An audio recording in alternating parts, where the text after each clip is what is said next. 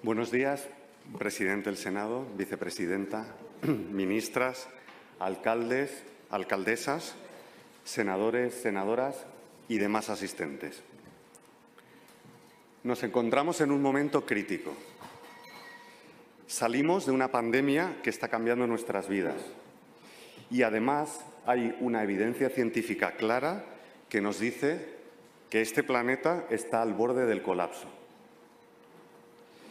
Esta situación es complicada, pero es posible encontrar un modelo de vida distinto. Lo ha dicho la vicepresidenta, lo ha mencionado Salvador también. Podemos tener un modelo más sostenible y saludable, donde las ciudades juegan un rol crítico. También se ha dicho, en España el 80% de la población, lo ha dicho el presidente del Senado, vive en ciudades. Para eso, para poder cambiar las cosas, en Europa hemos trabajado en un modelo para transformar las ciudades. Llevamos dos años acordando una misión que pretende conseguir al menos 100 ciudades climáticamente neutras antes de 2030. Yo, como miembro del panel que ha desarrollado esta iniciativa, estoy orgulloso de nuestras ciudades y de nuestro Gobierno, el Gobierno de España, que hoy dais el paso para estar a la vanguardia y son muchas más ciudades las que quieren participar de este proceso de transformación. Todas sois son imprescindibles. Pero para conseguir esto, estas ciudades que queremos, creo que hay un elemento crítico, que lo han mencionado todos, la vicepresidenta, el presidente, Salvador también, y es la colaboración. Las ciudades necesitáis y necesitamos imaginar juntas. Necesitáis experimentar y aprender juntas. Se han mencionado ejemplos que ya están en marcha, pero si lo hacemos juntos aprendemos mucho más. Y necesitamos que las ciudades defendáis y sostengáis este modelo juntas. También necesitamos la colaboración no solo entre las ciudades, sino también con todos los actores. Las ciudades solas no podéis hacer esto tampoco. Necesitamos a la industria, las empresas hoy están representadas aquí. Necesitamos a la ciencia, las universidades, los centros de investigación y, sobre todo, necesitamos a la ciudadanía, como decía también el presidente, necesitamos a estos agentes de la transformación a través de las asociaciones, las organizaciones no gubernamentales y los ciudadanos y ciudadanas individuales.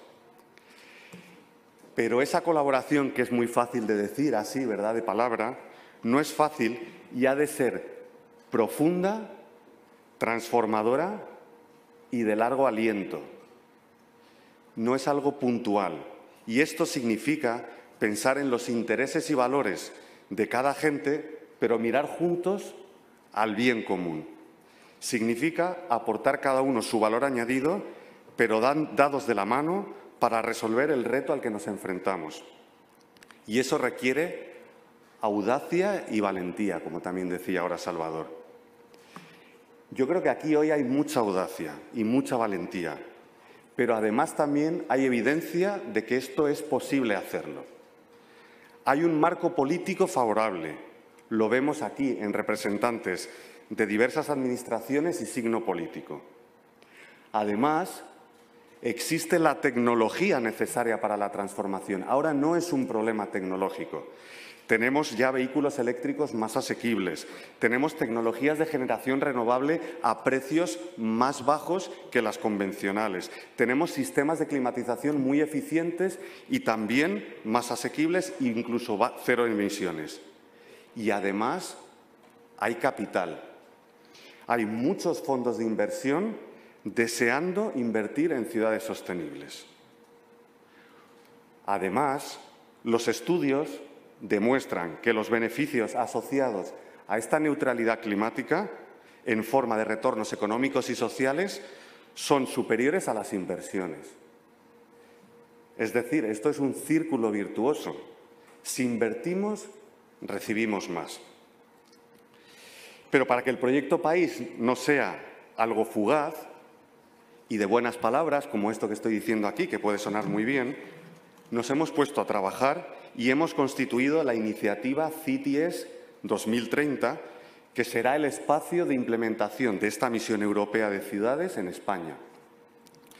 CITIES 2030 va a promover formas innovadoras de colaboración entre ciudades, actores y sectores clave para llevar a la práctica lo que acabo de decir, a través de iniciativas con capacidad para transformar las ciudades y acelerar la transformación energética y ecológica que tanto necesitamos y en la que tanto estáis trabajando todos. Entre todos los actores se están realizando ya procesos de co-creación, desarrollando carteras de proyectos transformadores que además se podrán incorporar en todos los planes de recuperación del Gobierno y generando economías de escala entre las ciudades de España. Así hemos constituido y queremos constituir un entorno facilitador y atractivo para la inversión privada y también para la implicación activa de la ciudadanía. Como cualquier iniciativa, hay un principio, ¿no? Y hoy empezamos con cuatro ciudades que han ido abriendo, brecha estos meses dentro de la iniciativa el día después y que hoy firman esta declaración. Sin embargo, esto solo es el principio. Ya estamos trabajando con más de ocho ciudades para su incorporación a corto plazo y, por supuesto, esto está abierto a todas las ciudades que quieran y habilitaremos un sistema para hacerlo. También están presentes en el acto de hoy, de firma de esta declaración, representantes de asociaciones empresariales, agentes sociales, redes nacionales y la Comisión Europea, demostrando esta necesidad y posibilidad de colaborar profunda y continuadamente. Ya termino. En este momento crítico, las ciudades, con el apoyo de todos los demás agentes, toman, tomáis la iniciativa para reinventar un modelo más saludable, sostenible, seguro y próspero. Construyendo unas ciudades más sostenibles, construiremos un país mejor. CITIES 2030 está aquí para conseguirlo y hoy comenzamos este camino juntos. Muchas gracias.